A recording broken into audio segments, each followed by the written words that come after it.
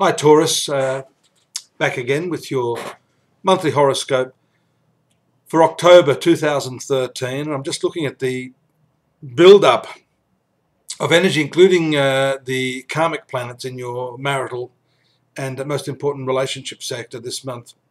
Saturn, the North Node, Venus and Mercury, all present there, indicating a lot of uh, focus in this area of your life. Now, I'm pleased to say that Saturn has passed over the difficult conjunction. So, what might have been a rather Cold War situation for some of you uh, is now passing. You do, however, still have the the you know just that very fresh transit of Mercury moving into this area too, indicating probably over the next seven days a need to go back over some of your past history with that person. Of course, uh, uh, on about the 8th or 9th, when Saturn moves into conjunction with Saturn, maybe some serious discussions. Um, but you'll be focused and uh, you need to demand the attention and focus of the other person if what you're trying to do is uh, clear the air on some on some matter. So, Sun now in the sixth house, uh, that has a lot to do with your health. It's this time of the year when the Sun transits this area of the horoscope, which is the sign of Libra. The other sign of uh, Venus, your ruler. And this has to do more with um, how much energy you're expending in your work, how you're actually coping with your co-workers, and how your work, uh, your work practices, your work habits are impacting on your physical well-being. Uh, we see that too because uh, for some of you the right angle from the sun to the midheaven to Jupiter shows excessive work practices. Uh, obviously, for some, uh, not enough return on investment. By that I mean you're probably expending a lot of energy uh, and not really getting the returns that you'd like. If you're in business, this could have to do with the money you're expending in your business. So it's very, very important, as I say to people, to uh, if you're having difficulty um, being profitable at this time, and a lot of people are, then you need to trade your way out of the situation rather than borrow, borrow your way out. Because the sixth house sun does also indicate issues of debt, uh, loans, so on and so forth, along with the eighth house. But sixth house has more to do with uh, debt that you have, health issues that you may have, and also enemies that you may have. So that's something you need to look out for during uh, this uh, month. We see also a very, very quick uh, conjunction of the moon to the um, planet Mars in your fourth sector. Fourth sector has to do with your domestic situation. And, uh, you know, moon for you is the third ruler, third ruler of communication. It is, um, it is therefore obvious that uh, uh, the discussions can be heated, your reactions can be quick, uh, quicker than usual, I think. Uh, so it's important again that I stress that you you must take your time here. There's no rush to do things, and particularly uh, what I'd say is wait till around the fourth or fifth when this conjunction of the of of the Moon and Mars has passed. It Might be a decision you have to make on your on property matters or uh, related to some female in your family. Uh, just put things on hold. Um, slow and steady wins the race, I say. And actually, I don't say that. That's that's my quote of an old adage. You, have heard of that, no doubt. But that applies here to you at this uh, point in time, Taurus.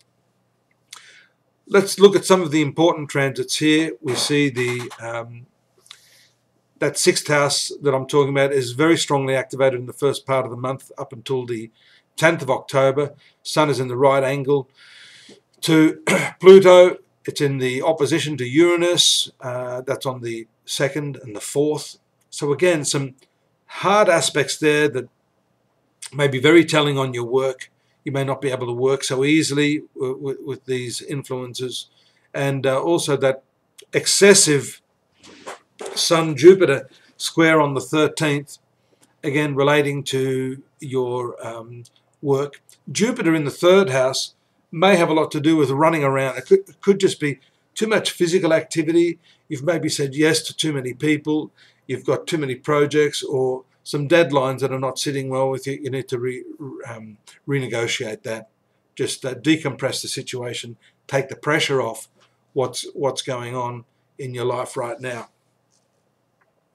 Venus moves to the eighth house on the 8th of October, 8 8 8, supposed to be lucky. This is a sexual and uh, deep emotional transit uh, where your ruling planet is moving after the 8th. So this is going to spend a little bit of time there and obviously this is going to have uh, a lot to say about your sexual preferences, the way you're engaging yourself intimately, uh, but it also has a positive influence on your finances too.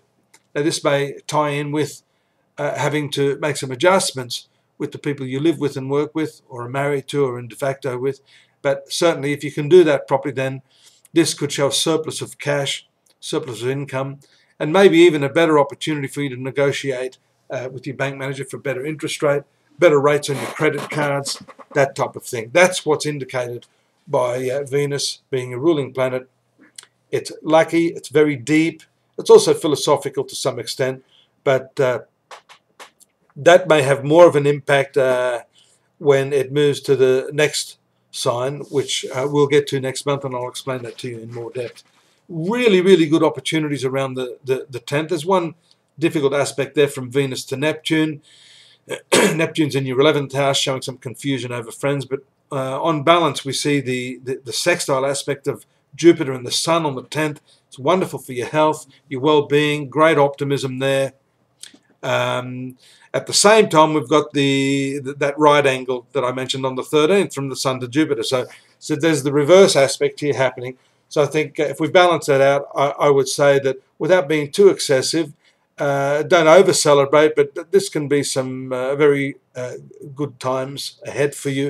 A lot of fun, maybe some partying, and uh, also shown on the 15th by the transit of Mars to the fifth house of entertainment, love affairs, and creativity. So most of the planets give you a bolster uh, in that department, so you should avail yourself of that and uh, maybe lay low on the 15th and 16th, maybe to the 17th, when it comes to communications with uh, employers, that type of thing. I see some tough transits there for Mercury. Um, so after the 17th, however, Venus goes into an excellent aspect to Uranus. You need to strike while the iron's hot around those dates I see some opportunity that could arise quickly. If you don't jump on it quickly enough, then you may lose the opportunity to to really uh, to, to, to, get ahead at this time. We see the important eclipse there in the in the uh, 12th house of your horoscope around the 19th, indicating some very, very powerful spiritual energies, some dream energy, astral energy, all of these subtle, hidden aspects of your nature need to be heeded. You could be getting some strong, clear messages about things, and you need to be switched on to that so that you can translate that, you can transpose that into the real world rather than that just being some airy-fairy stuff. Uh, the important thing here, and I, and I talk about this a lot to people, is to plug the spiritual component into the worldly life so that you can use both of these things in a, in a perfect balance. So that's happening uh, now, towards the latter part of the month, 19th, we've mentioned the transit of Mars on the uh, 20th. That's going to give you a bolster over the next month or so, probably for four to six weeks. Some strong uh, emotional, creative, uh, romantic energy.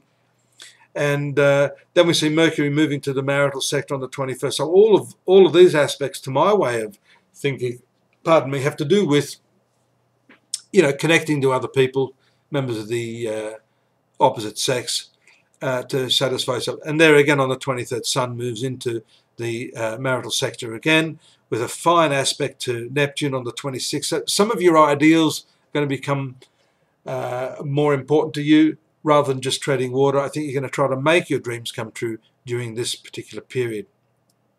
Uh, the final aspect of the month is Mars to Pluto on the 31st. Very, very powerful. So these last few days of the month are very physical for you use that exercise, uh, create, love, eat, love, pray.